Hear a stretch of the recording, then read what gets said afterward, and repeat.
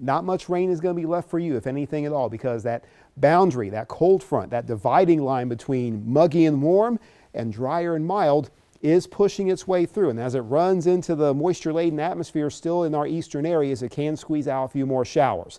But we'll have a northwest wind transition in the evening and late night period, and that taps into that drier air and brings it upon the rest of the region. So just give it a few hours, and you'll notice when you get up in the morning that things are going to be a little different. And it's not just because it's fall, uh, it's because we have a cooler, drier area of high pressure coming into the scene and it's going to create a very bright Thursday with hardly any clouds around after sunrise. And the breezes will not be all that strong into the afternoon either, but they'll still steadily come in from the north, which supports a clear trend, which supports a mild feel to the air.